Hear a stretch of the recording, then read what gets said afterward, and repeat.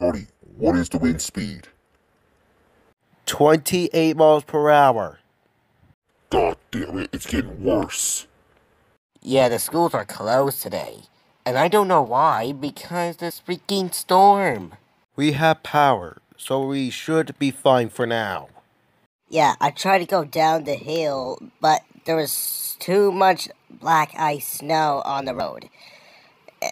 And I struggled for hours. I got up here.